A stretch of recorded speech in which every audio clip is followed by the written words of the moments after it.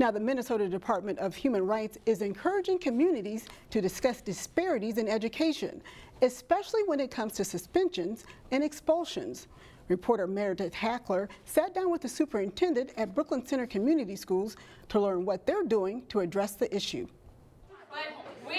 Education is vital to a child's future, but for students of color, being suspended from their place of education happens more often to them than their white peers. When we look at our um, data and statistics, it shows us that predominantly, far and away, our um, African American students make up um, about 45 to 47 percent of our populations, dependent upon the, the school within the school district, and yet they account for upwards of 85 percent of both our classroom referrals as well as our out-of-school suspensions.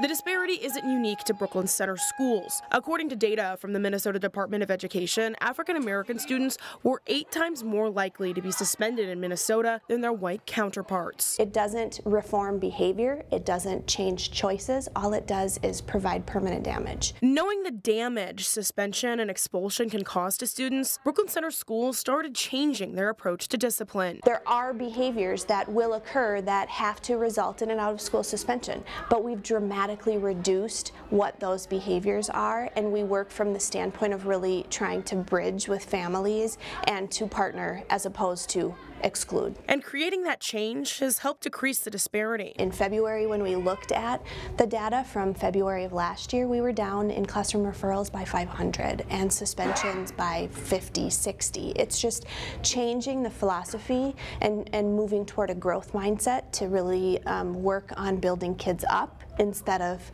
pushing them out has been has been the big shift. The district knows the issue is still prevalent. We're very transparent about the fact that we have a long way to go. We we have a lot of work to do in order to create an environment that is welcoming for all of our students, students of color, white students of all experiences, and we have to make that a priority. But they're working to create an environment that is suitable for students of every race and background. Every single one of our students deserves to be respected as well. We need to see our kids, to see them show up in our space, to allow them to be their authentic self, and then that makes the entire community just that much stronger. In Brooklyn Center, Meredith Hackler, CCX News.